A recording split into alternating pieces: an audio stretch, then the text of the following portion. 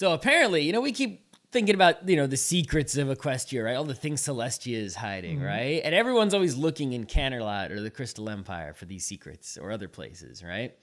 Well, I think there's a lot of secrets going on in Ponyville that nobody is fucking right. And it's like right, uh, it's always that hidden thing right under your nose, right?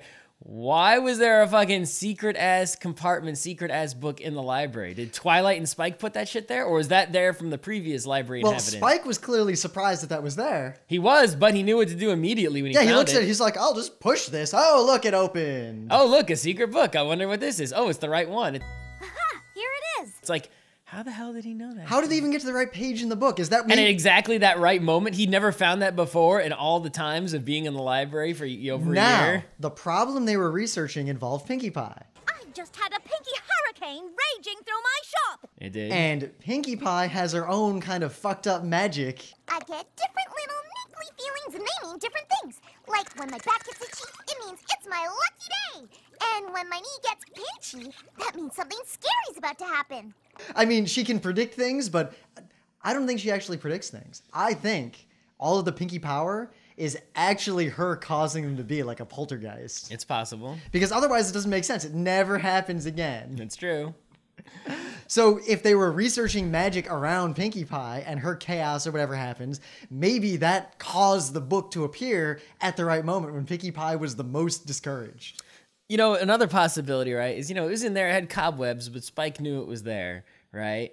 Maybe it was sort of like they found this book when they moved into the library, right? And they realized this is a book with information that normal people really, you know, you shouldn't let people check this book out because it's like, oh, I can go make clones of myself in the forest. Million derpies. Right. So that book is like the guy. It, the, what's the title of that book? They didn't say, right? The title of that book could have been, you know, the m- mystical secrets of Ponyville and the Everfree Forest. It could be like that book in Gravity Falls. Yeah, and that book was probably newer than, you know, I guess um, Granny Smith. yeah, that book is newer than Granny Smith when of the founding of Ponyville, right? It can't be that old. Granted, it seems like no one really knew all the stories that Granny Smith knew, so those were already forgotten. Yeah, I know, right? So, but it's like, you know, they must have found this book, hid it in that compartment that they knew was there, which is how Spike just knew to open it. And then he's like, aha, you know, because because Twilight says, you know, I've got to try to remember the name of that legend she mentioned. so Spike, you know, being smart in the library was like, oh, that sounds like maybe a secret of Ponyville.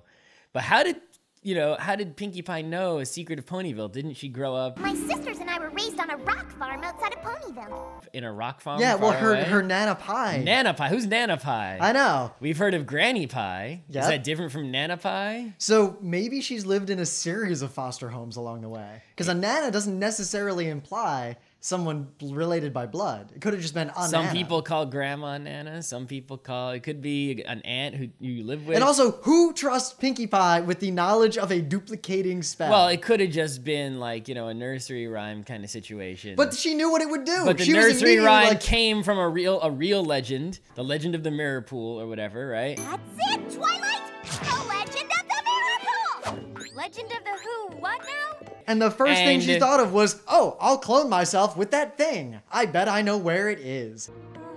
Where the brambles are thickest, there you will find uh, a pond beyond the most twisted of vines. And then she knew the exact spell, the words to say to make it happen. And into her own reflection she stared, uh, yearning for one whose reflection she shared, and solemnly swear not to be scared. Well, because it was in the nursery rhyme. So notice when she walked through, you showed from her perspective coming back out and finding herself. I wonder if she just entered another parallel world and is gone. And everything we saw from that point forward was this other mirror world.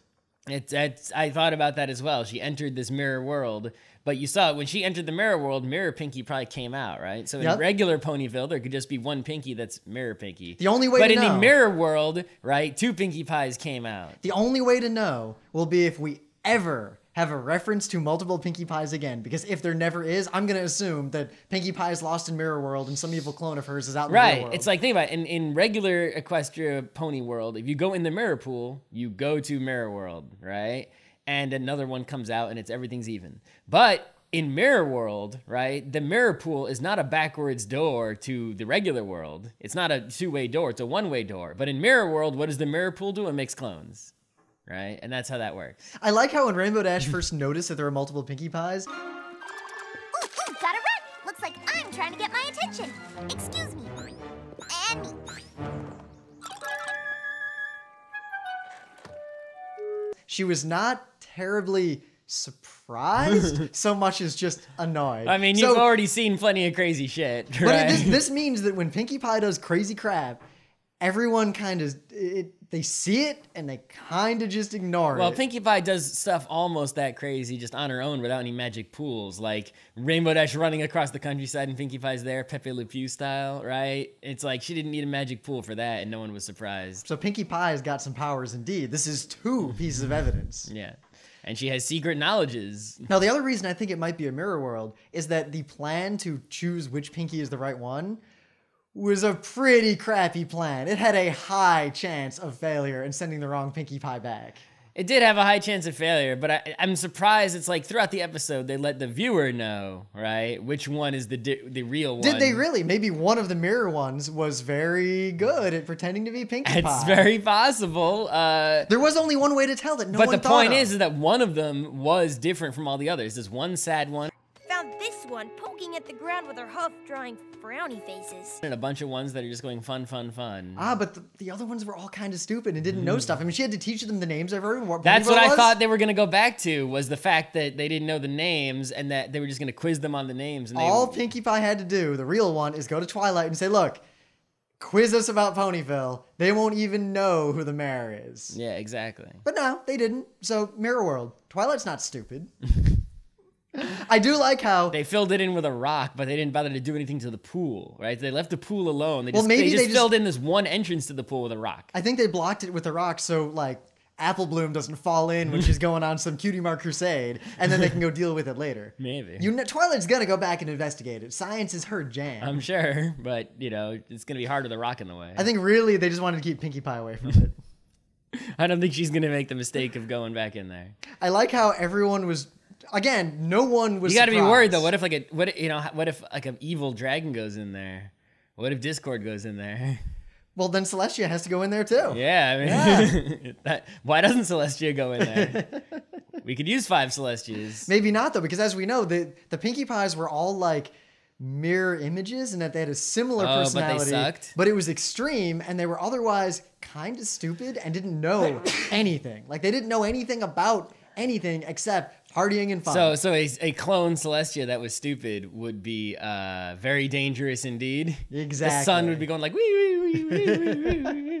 But I like how the ponies in Ponyville, they did not go to the mayor. They never go to the mayor. Twilight is basically the ruler of Ponyville at this point. Yeah, I mean, you know, I think the mayor wasn't even in the episode, right?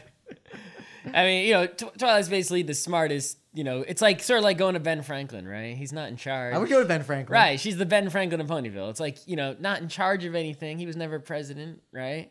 But it's like, you need shit done. Who you go to? Fucking Ben Franklin.